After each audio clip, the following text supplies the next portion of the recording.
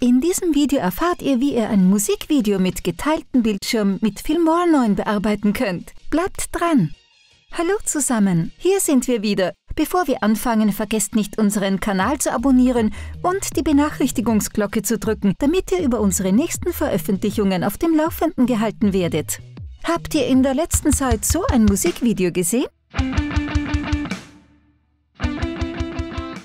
Ein Musikvideo mit geteiltem Bildschirm ist eine gute Möglichkeit, eure musikalischen Fähigkeiten zu zeigen, euch mit Familie und Freunden zu verbinden oder einen neuen Schnitttrick auszuprobieren.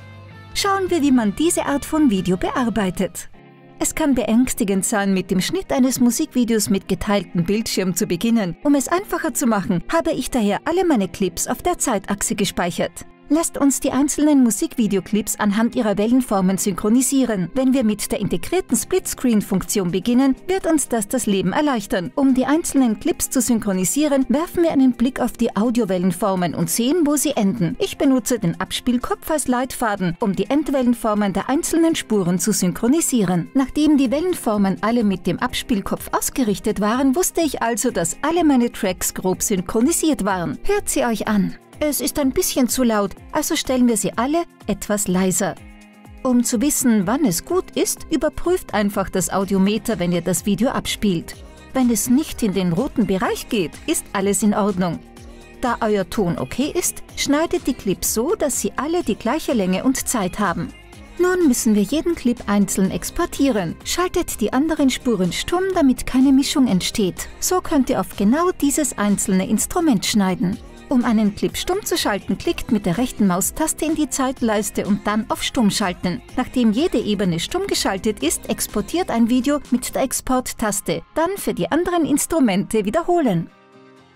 Ihr sollt auf jeder Ebene ein Instrument und danach für jedes Instrument ein eigenes Video haben. Wenn ihr ein Video exportiert, das über Videoebenen verfügt, klickt zum Ausblenden der Videospur einfach auf das Auge auf der linken Seite der Zeitachse.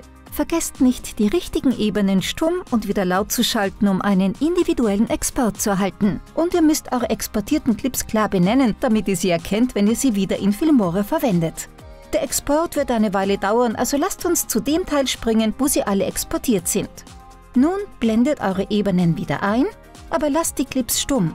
Ihr werdet gleich sehen, warum. Und importiert dann die synchronisierten, exportierten Videos in Filmora.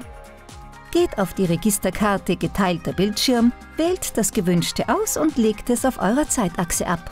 Doppelklickt darauf, damit seine Eigenschaften angezeigt werden. Klickt jetzt auf die Schaltfläche Erweitert. Es erscheint ein neues Fenster, in dem ihr eure Videoclips hinzufügen und einige kleinere Anpassungen vornehmen könnt. Ziehen wir also unsere Clips an die Stelle, an der wir alle haben wollen und spielen sie ab. Sie sind alle synchronisiert, das haben wir ja schon erledigt. Wenn ihr weitere Audiobearbeitungen vornehmen möchtet, geht zur Registerkarte Audio und passt dann die gewünschten Einstellungen an. Wenn ihr den Rahmen anpassen wollt, klickt auf die Registrierkarte Video im oberen Teil des Fensters. Wählt den Clip aus und verwendet dann die Steuerelemente in dieser Registerkarte. Wenn ihr möchtet, dass bestimmte Clips früher oder später erscheinen, könnt ihr die Länge in diesem Fenster genauso wie auf der Zeitachse anpassen. Es stellt sich also heraus, dass der geteilte Bildschirm ein Standbild von jedem Clip hat, obwohl ich möchte, dass sie erscheinen, sobald das Instrument zu spielen beginnt. Ich möchte also, dass sie erscheinen, wenn sie anfangen, ihre Musik zu spielen. Klickt dazu auf OK und geht dann zurück zur Zeitleiste. Um einen Teil des geteilten Bildschirms zu verdecken, benötigen wir ein kräftiges Weiß, damit die weißen Linien des geteilten Bildschirms nicht angezeigt werden. Geht dazu in die Medienbibliothek, nehmt ein Farbbeispiel und wählt ein kräftiges Weiß. Zieht es auf die Ebene über dem geteilten Bildschirm. Klickt darauf, so dass die Eigenschaften angezeigt werden und passt dann den Maßstab und die Position an. Macht das für jeden Abschnitt, den ihr nicht sehen möchtet. Stellt sicher, dass ihr den geteilten Bildschirm für den Zeitpunkt ausschneidet, zu dem das Instrument zu spielen beginnt oder wo ihr den Schnitt im Fenster mit geteiltem Bildschirm gemacht habt. Ich möchte noch auf Vollbildschirmaufnahmen von Instrumenten schneiden. Eine einfache Möglichkeit, dies zu tun, besteht darin, den geteilten Bildschirm auf die unterste Ebene zu legen und dann die Vollbildschirmclips darüber zu synchronisieren und dann entsprechend zu schneiden. Schauen wir es uns jetzt an.